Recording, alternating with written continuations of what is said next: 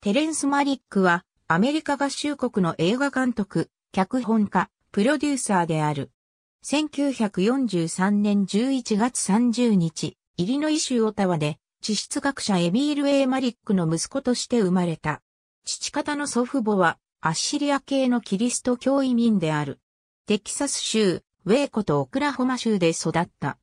二人の弟がおり、そのうちの一人であるラリーは1960年代にギタリストとしてスペインに留学。アンドレス・セゴビアの教えを受けたが、1968年にプレッシャーから自身の手を傷つけ、直後に自殺した。マリックはハーバード大学で哲学を専攻し、1965年に主席で卒業。ローズ奨学金を得て、オックスフォード大学大学院に入学した。日常言語学派の哲学者、ギルバート・ライルの下で学んだが、キルケゴールやウィトゲンシュタインに関する意見が合わず、博士論文を出さずに中退した。その後はアメリカに帰国し、1969年にノースウェスタン大学からハイデッカーの著作の翻訳本を出版。マサチューセッツ工科大学で哲学を教える傍ら、フリーランスのジャーナリストとして、ニューズウィーク誌やニューヨーカー誌、ライフ誌で記事を執筆した。アメリカンフィルムインスティチュートが次世代の映像作家の育成を目的に、1967年に設立したばかりの AFI カンサーアベトリに入学。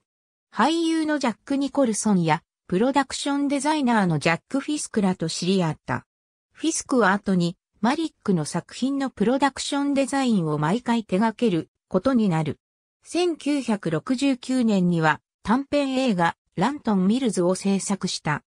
1971年にジャック・ニコルソンが監督を務めたドライブ、HE セットやダーティ・ハリーの初期走行に脚本家として携わり映画界に進出。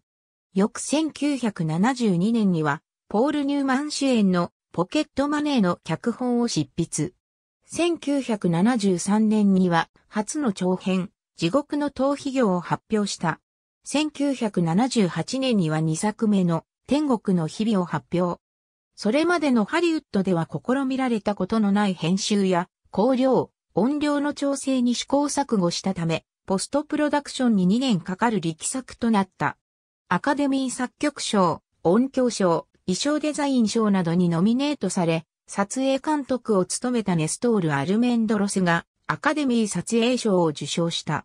また、第32回カンヌ国際映画祭のコンペティション部門に出品され、監督賞を受賞した。その後、自作の試作途中で突如パリに移住。その後は、公衆の面前に一切姿を現さなくなる。フランスでは、数本の脚本を執筆しながら、長い間教鞭をとっていた。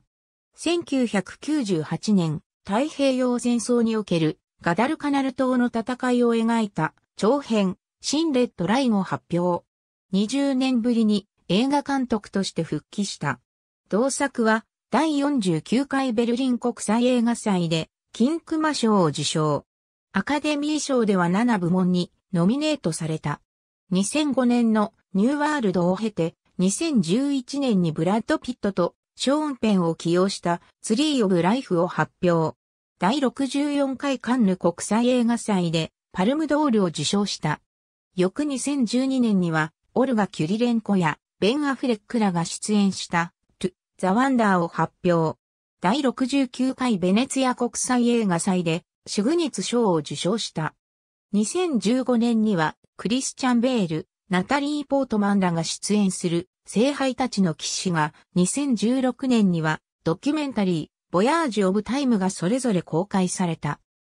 2019年には、第二次世界大戦中に良心的兵器拒否を行って処刑されたフランツ、イエーガーシュテッターの人生を描く、名もなき生涯を監督し、第72回カンヌ国際映画祭でエキュメニカル審査員賞とフランソワシャレ賞を受賞するなど高く評価された。1973年から2012年のおよそ40年間で制作した作品はわずか6本と非常に佳作な映画監督として知られる。また、アカデミー賞の授賞式や各映画祭には出席することなく、メディアへの露出やインタビューもほとんどない。少なくとも2011年の時点ではテキサス州オースティンに住んでいるとみられる。ありがとうございます。